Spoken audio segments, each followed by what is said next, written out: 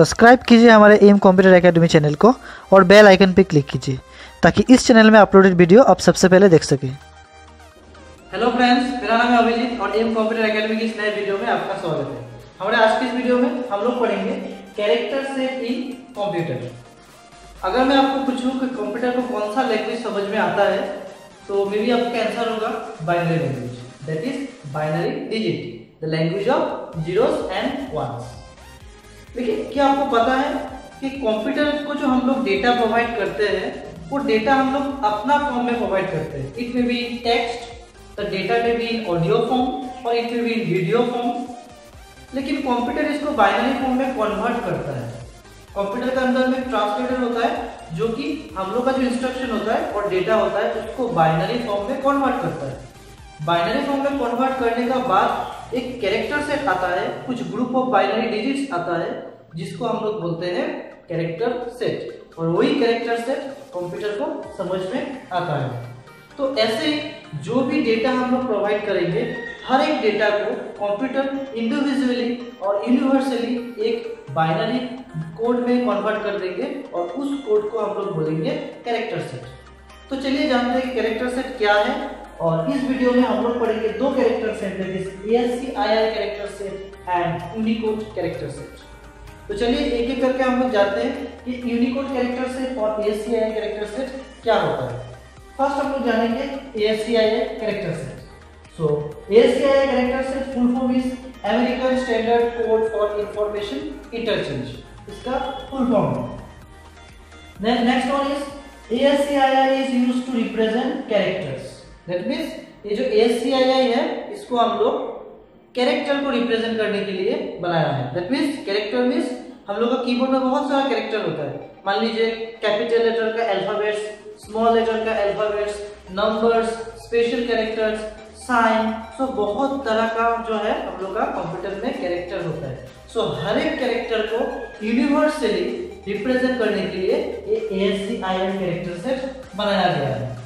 ASCII was published by American National Standard Institute that is ANSI in 1968 that means इसको ANSI के द्वारा बनाया गया था in 1968 में तो 7 bit ASCII could represent 128 characters that means जो ASCII कोड होता है वो दो दो प्रकार का होता है एक है 7 बिट का ASCII कोड और एक होता है 8 बिट का ASCII कोड जो सेवन बिट का होता है, वो यूनिवर्सली 128 कैरेक्टर को ही रिप्रेजेंट कर सकता है, जो कि बहुत ही कम है, ठीक है?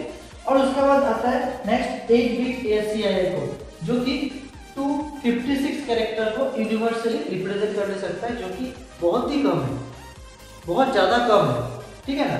लेकिन क्यों कम है? क्योंकि हम लोग का देखिए, अभी जो कंप्यूटर है कंप्यूटर में हम लोग का अल्फाबेट्स होता है। अल्फ़ाबेट क्या होता है?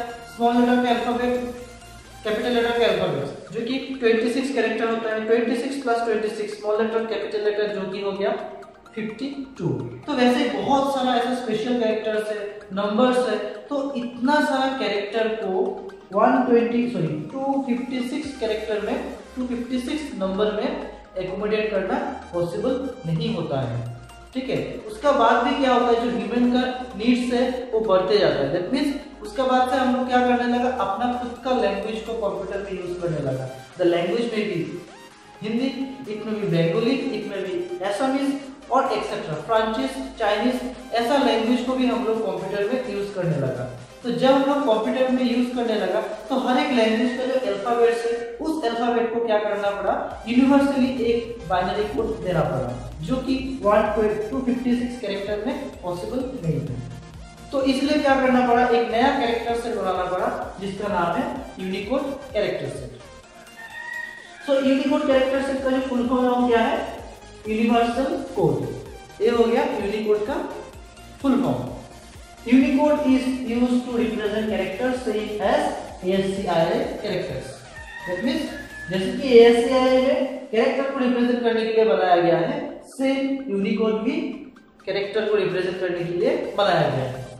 Unicode is a 16-bit code that is 16 binary digits.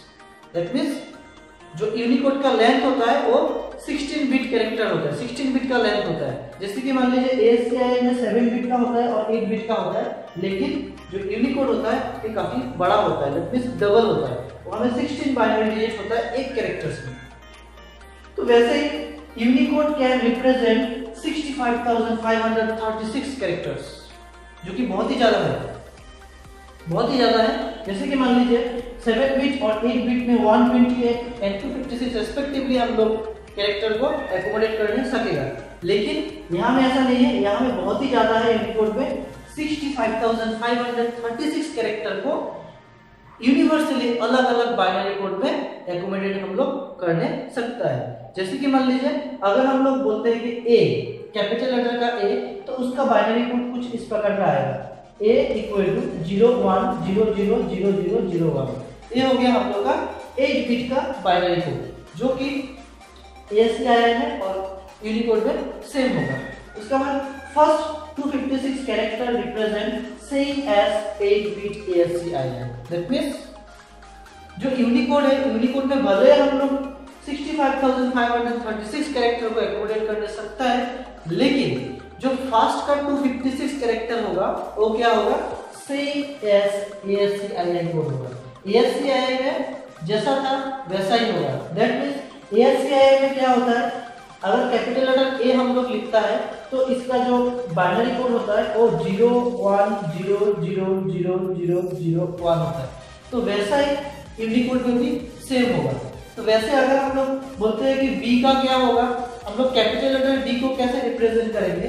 तो उसका आंसर कुछ ऐसा होगा B equal to zero one zero zero zero zero one zero जैसे कि आप लोग को पता है वन का बाद जो नेक्स्ट बाइनरी नंबर आता है टेन आता है। तो वैसे अगर हम लोग सी को रिप्रेजेंट करने जाएँगे तो zero one zero zero zero zero one one तो ऐसा करके हम लोग यूनिवर्सली हर एक जो कोड होता है हर एक जो कैरेक्टर्स होता है हर एक कैरेक्टर को हम लोग एकोमोडेट करने सकता है। वो कैरेक्टर में भी इंग्लिश हो सकता है वो कैरेक्टर में भी हिंदी हो सकता है वो कैरेक्टर में भी एसएमएस फ्रांचीज बंगाली चाइनीज़ कोई भी वर्ल्ड का कोई भी लैंग्वेज को हम लोग यूनिकोड में जो 65,536 कैरेक्टर है उसमें हम लोग एकोमोडेट करने सकता है।